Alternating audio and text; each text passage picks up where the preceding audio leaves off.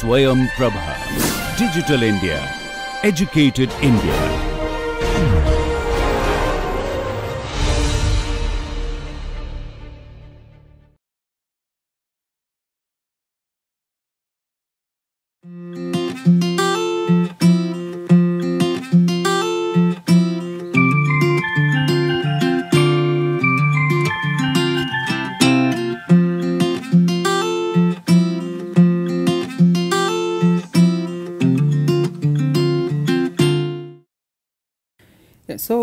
We are looking at uh, method of characteristics approach to solve uh, supersonic flow field uh, problems in case of inviscid rotational isentropic flows.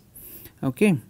Uh, so and in the previous classes we discussed what these uh, characteristic lines are and how do you get uh, the characteristic equations and compatibility conditions for a 2D uh, supersonic flow. Uh, the characteristic lines are C minus and C plus. The slopes of the characteristic lines dy by dx is tan of minus mu where mu is the Mach angle for C minus characteristic and tan of theta plus mu for C plus characteristic. Along the characteristic uh, lines uh, theta minus mu uh, that is uh, the Prandtl Meyer angle uh, theta for the C minus it is theta plus mu that is constant. For C plus it is theta minus mu. So, these are given values k minus and k plus. These are constant. And we also had an introduction to what is meant by contoured uh, uh, nozzle where uh, the nozzle is designed in such a way uh, that um, the flow at the exit right the flow at the exit is uniform otherwise if the nozzle wall is not properly contoured then uh, these characteristics keep uh, reflecting off the walls and at the end you get a non uniform flow. In order to get a uniform flow you have to design the wall in such a way that it uh, cancels the waves these Mach waves once they impinge on the wall that can be done by making the wall angle equal to the flow angle uh, at each Mach wave. Okay. So, that is what is the principle that we are going to use um, to look at how to design such nozzles. Okay. Uh, we had a relationship for what should be the flow turn. So, now I know what should be my exit Mach number m e is known I have to give a certain flow turn. So, that the flow expands here that is the theta wall maximum that is the theta wall that I have to give um, in order to achieve a certain Mach exit and this relationship was theta wall max is equal to uh, Prandtl Meyer angle of the exit flow divided by 2. Okay. This uh, also we proved by using method of characteristic itself. So, now let us apply this uh, process for design of a minimum length nozzle for Mach 2. We will just consider two points because uh, you can see just for, for these two points we have 1, 2, 3, 4, 5, 5 points need to be evaluated. Uh, also properties at 1 uh, Uh, at 0 which is the originating point. Uh, we have uniform Mach 1 uh, flow at uh, uh, section 0. sometimes this is not always true. you may have certain non-uniform flow also may be present but the, the flow is supersonic if the flow is supersonic uh, then that can be considered and you can draw a, initial characteristic net starting at this particular point. So, that uh, uh, there are uh, methods detailed methods for that on how to consider such situations which is not in the scope of what we are discussing. We are just discussing that we have an uniform flow and then we turn it by a Prandtl Meyer expansion at as a corner over here and uh, then uh, look at uh, designing a wall such that um, there will be no um, wave reflections at the wall uh, therefore, at the end you will get a uniform flow. if this needs to be achieved uh, uh, correctly and a smooth profile needs to be uh, got then we need a large number of waves you may need to take uh, hundreds of waves in order to get a smooth profile. Um, but uh, um, here for a, classroom case uh, we will just take two characteristics we will see the procedure so that you become familiar with it and uh, if somebody is applying this in their work then they need to actually write a uh, MOC code uh, a simple code in order to do this calculation for many many waves. Okay, so we let us begin um, from uh, we look at the point 0. Uh, so, at the point 0 you can see so uh, this is the point uh, 0 and here uh, this flow here is uniform Mach number equal to 1 and the flow turns at point 0 by an angle uh, so, Mach number equal to 1 theta equal to 0 and it turns by an angle theta wall max which is equal to nu by 2 Mach exit by 2.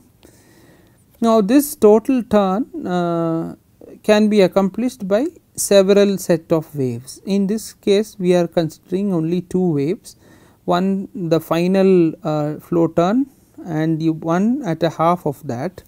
So, the flow turn for say Mach number 2 uh, the theta wall maximum needed to be achieved is 13.19 degrees and that is divided into two uh, uh, angles one at 6.595 and the other one at 13.19.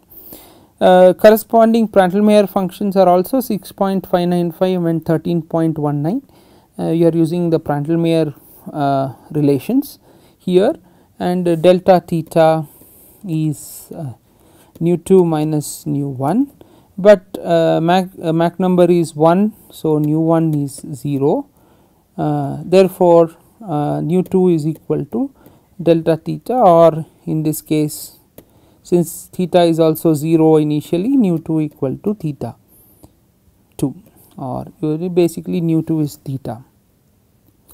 So, uh, the points there are two waves essentially they are uh, we are considering that uh, the half angle uh, or the half height of the nozzle at the throat is 1. So, uh, you can appropriately uh, scale this these coordinates once you get the results. Uh, now, when we do this kind of solution we are solving both for x and y as well as the flow properties at each point. Mm, it becomes very difficult to keep track uh, of these variable various quantities. Therefore, it is useful to always have a uh, table of this sort uh, when you are doing it by hand. Otherwise uh, generally people write a code to uh, do this automatically. Now, to understand the procedure uh, we can do for a few points so that this procedure becomes one can use this procedure. So, uh, at point at the wave uh, which is 1 we know theta value we know nu value corresponding Mach number is 1.315 and corresponding um, mu that is uh, Mach angle is 49.48. The value of k plus and k minus is also given here uh, k plus is theta minus nu that is 0, but k minus is theta plus nu which is 13.19 and 26.38 for the two different waves. Now, we go to point 1. Now, point 1 is located here. Uh, it is the first wave that is produced at point 0. It is going and coming to the point of line of symmetry at point 1. So, we apply the symmetry boundary, boundary condition here uh, that is theta 1 is 0 uh, this is a C minus characteristic. So, theta 1 my plus nu 1 is equal to 13.19 it is already known, uh, but uh, theta 1 is 0 therefore, nu 1 is 13.19 therefore, corresponding Mach number you can get is 1.543 and corresponding um, uh, the uh, Mach angle also you can get 40.38. Now, how to get the value of x and y here? uh, here this is the x y. So, this is along x coordinate this is y coordinate. Uh, now, this is a point on line of symmetry which is at x axis. So, y is 0, but we need to find the value of x for that you write the equation for uh, this particular c minus characteristic which is uh, y 2 minus y 1 by x 2 minus x 1 is equal to or um, in this case it is y 1 minus y 0 by x 1 minus x 0 is equal to tan of uh, the average angles. Essentially the average angles over here average of 6.595 plus 0 by 2 49.48 plus 40.38 by 2 uh, this uh, the coefficient here is uh, this value and you can get x 1. So, now we got x 1 here. So, we write uh, the value for 1 here x is known y is 0 theta is 0. Now, we knew we got it is 13.19 corresponding Mach number and mu are also written and the value for uh, the value of the slope that we used so that we got the uh, values for x and y is also uh, given over here. Now k plus and k minus can be determined again here. Uh, k plus now is uh, theta minus mu which is minus 13.19 because theta is 0 and mu is 13.19 okay so now we go from point 1 uh, to point 2 Mm, now point 2 is an interior point. So, this uh, particular problem is also an uh, description of various unit processes that we had discussed. So, uh, at point 2 we have a C plus characteristic coming from 1 and a C minus characteristic coming from uh, 0. This is the second wave from uh, 0 and uh, we know for C that is this is the value for k plus coming from 1 and this is uh, the value for k minus coming from 0 that is the second wave second wave from 0. So, we know these values. So, just uh, we have to solve them algebraically you have the equation for that from here we can calculate what is theta 2 and uh, nu 2 which is the Prandtl Meyer angle. So, theta 2 is 6.595. So, you find that this is this flow is not uniform because here the angle is 0 theta is 0, but here at point 2 it has an angle 6.595. So, the flow is deflected by 6.595 degrees with respect to x, uh, x axis. Mach number has increased. It has come to 1.7675 and similarly mu 2 uh, has changed. Now we need to find um, x 2 and y 2 uh, we write the equations of straight lines uh, between these two points. So, 0 2 and uh, 1 2 uh, we know the values for uh, 1 that is already known and we know the value for 0 we substitute those values and we get uh, the numbers now x 2 and um, y 2 okay. So, now this can be again put into uh, the table. Uh, so, we can keep expanding the table now point 2 is available. So, it is slightly uh, downstream of uh, point 1 and slightly uh, above uh, the line of symmetry and here the flow is having an angle of 6.595 degrees. Okay. So, now we look at the first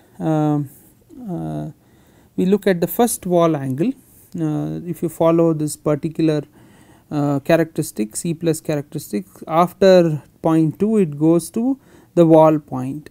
Now in order to ensure that uh, there is no wall cancellation the angle at the wall uh, should be equal to uh, the angle of the flow. The angle of flow at this particular point is uh, 6.595. So, the wall should match that so, you get theta wall equal to theta 2 equal to 6.595 the slope here is 6.595 degrees. Okay. Uh, so, now we know the wall angle at 0 this wall angle is theta w max. This is known to us. Now we know the wall angle at this particular point.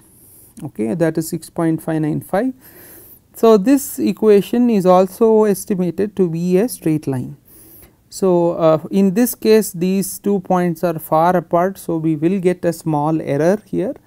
Um, that is understood but when this is really done it is done in computers and uh, several waves are used a very large number say hundreds of waves are used uh, then the uh, points are very close to each other and therefore you can uh, actually get a smooth profile. But for uh, classwork sake or classroom sake we will just take uh, simply uh, a fewer number of points and therefore you just write the equation of the straight line between 0 and w 1 and 2 and w 1 we take average angles again and uh, therefore we get uh, these two equations.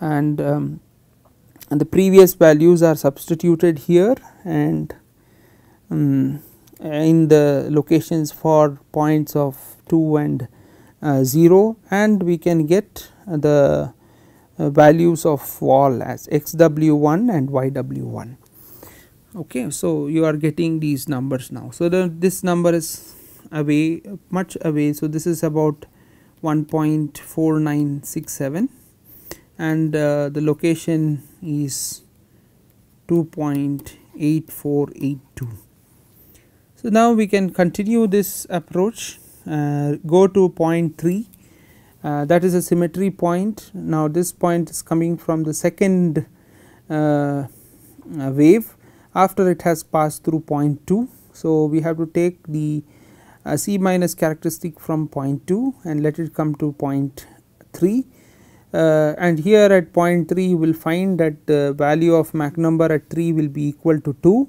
and angle is 0 this is exactly what is uh, required. And uh, consequence uh, the wall angle at W2 should also be 0 okay so that should be the case so that should be the end of the wave cancellation section and uh, you write the equation of C minus characteristic again um, and here y is 0. So, you can solve for this uh, starting from the point 2 and you get x 3 is uh, 1.891 okay. Uh, so, you got uh, value of these different uh, numbers now.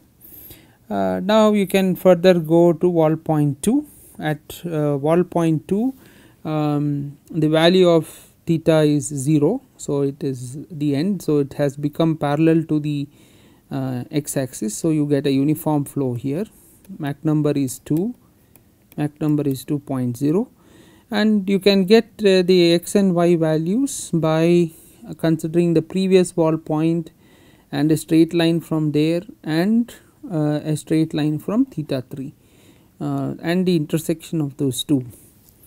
And here you get y wall is 1.602 okay so if you uh, if we had looked at the area ratio for Mach number equal to 2 we will find that uh, y should be uh, from uh, isentropic area ratio relations it should be 1.6875 uh, of course we have considered only very few waves here. If we take a good number of waves we will get a more accurate uh, solution. But even considering two waves we have got a solution which is very close uh, to the expected values. Okay. So uh, now by this set so now we have completed all the different uh, things and we have got uh, the points w1 and w2 if you take many number of uh, waves we can uh, get a smooth contour. Uh, so, for people who are going to use this uh, they need to develop a, a small code to compute for large number of waves for their particular problem. so, I hope with this example you get an idea of how to use uh, MOC for uh, solving supersonic flow fields. It can be used for analyzing supersonic flow fields or it can be used for designing uh, supersonic nozzles. Uh, uh, this is a particular case where we are looking at analyzing a flow field, uh, understanding how a flow field uh, looks like uh, by knowing the initial values. This is the case of analyzing a supersonic free jet that is the jet uh, a jet from that it can be a contoured nozzle it is coming out into ambient and the initial conditions of the jet are given P naught is given 6 bar, T naught is given 300 Kelvin and uh, Mach number is 2.0. Uh, so, if you calculate this at this particular exit location what would be the pressure corresponding to Mach number 2.0 it can be shown that this pressure is actually less than 1 bar. That means, this uh, nozzle is in the working in the over expanded condition as a consequence it will develop um, uh, oblique shock waves. Now, this oblique shock wave will come to the center line at center line of course, the flow has to maintain theta equal to 0 uh, condition. So, in order to uh, uh, ensure that that happens because if you consider a streamline here this streamline is deflected towards the flow, but uh, at this particular uh, region the flow has to be parallel again uh, to x axis therefore, another shock develops. As a consequence of two shocks you get region 3 which has much higher pressure. Okay. So, if you look at the centerline pressure variation initially you have a pressure which is lower than ambient pressure and then suddenly the pressure will increase higher than ambient pressure.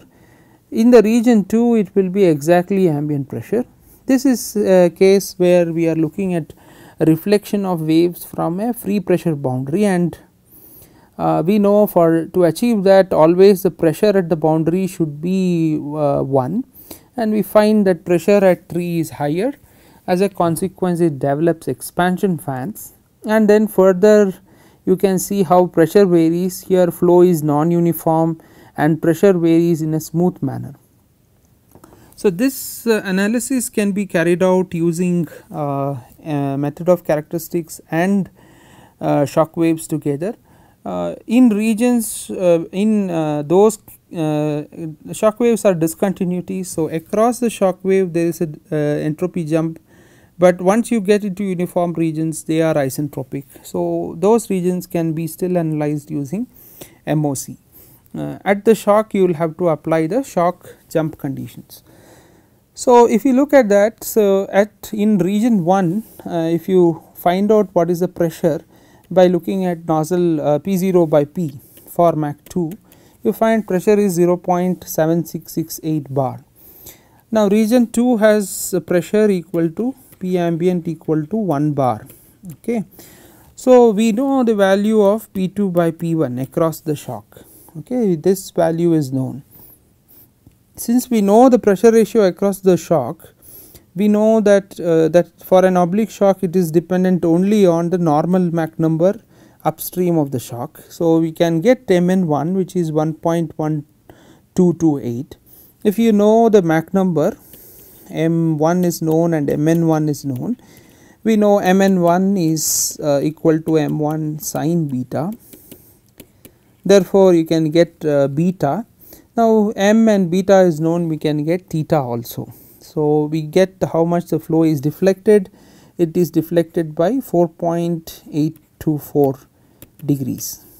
Uh, pressure in this region is 1 bar, but uh, in order to uh, make sure that uh, the flow remains um, parallel in uh, at the line of symmetry, uh, this shock wave develops between region 2 and 3 so, uh, Mach number in region 2 is 1.827 okay this is just by oblique shock equations.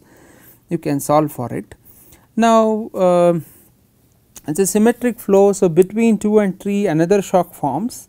Uh, again you can calculate it. You know Mach number in M2 then you know what the flow deflection should be uh, it is the same 4.84 degrees uh, therefore, uh, you can know m and theta is known you can find out all the other uh, parameters what is uh, P 3 by P 2 and so on.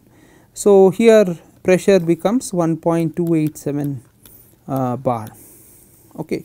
So, now pressure has increased in 0.3 uh, but again you require in this particular region a constant pressure uh, of uh, uh, 1 bar. So, across these two points regions between 3 and uh, the region that is represented over here we will have an expansion fan and that expansion fan can be solved using Prandtl-Meyer's theory. Okay. Uh, here uh, Prandtl-Meyer's uh, expansion is an isentropic expansion and we need to find what is stagnation pressure in region 3 P03 this can be found. It is 5.982 bar uh, because of two shock waves. Uh, you see that the stagnation pressure has reduced from 6 bar. This is due to entropy generation in shock waves. Okay.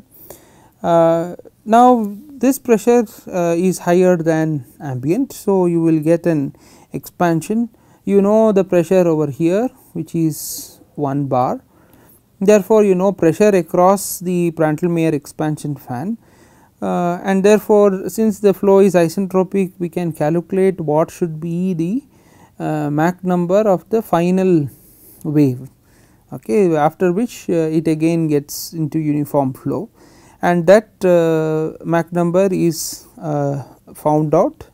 Okay. So, that Mach number is 1.83 and uh, corresponding flow deflection can be found it is 4.85 degrees.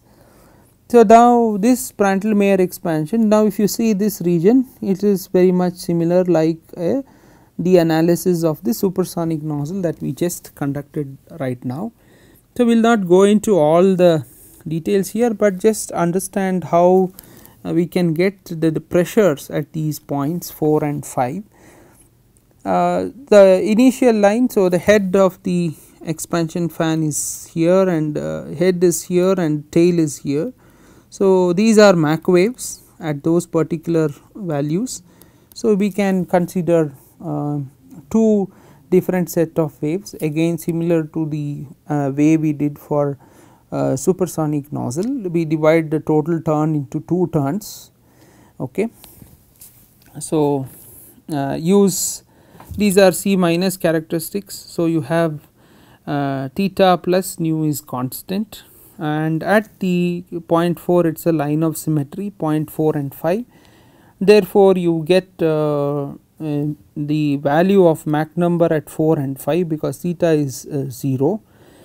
Mm, if you know the value of nu phi you get m 5 uh, if you know m 5 we can calculate uh, p 5.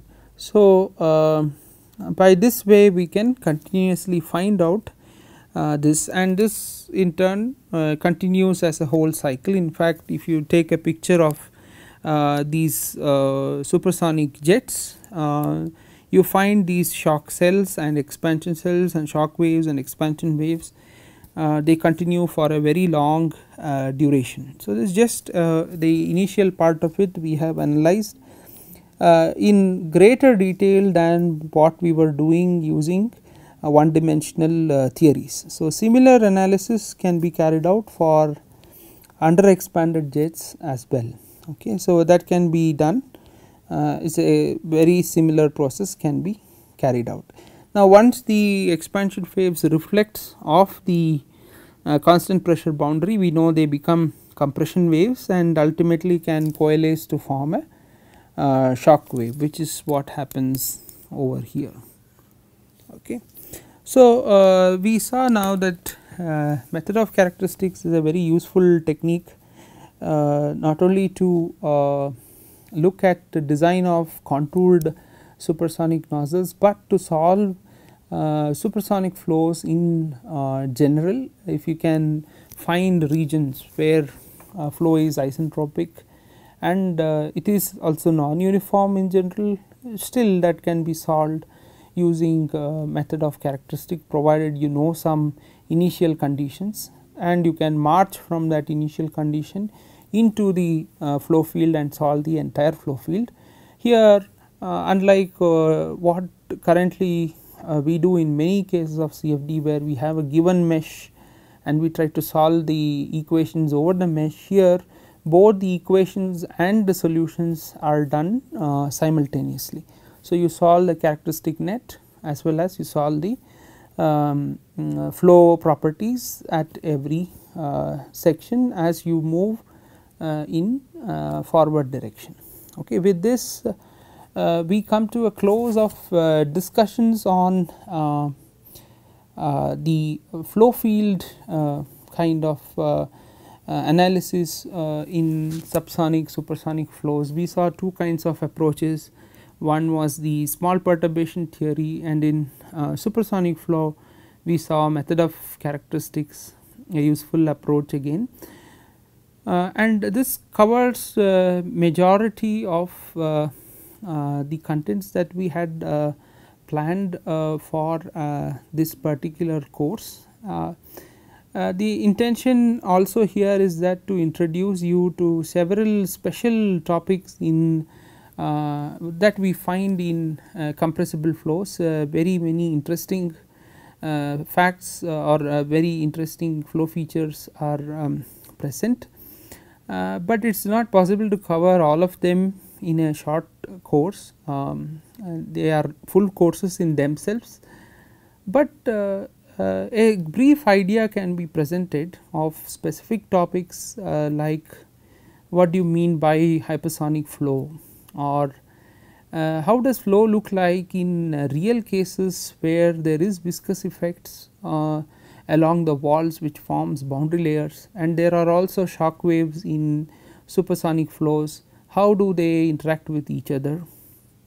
And we have talked about the reflection of shock waves, but uh, often we sometimes find for example even in the jet problem uh, that uh, two shock waves interact with each other.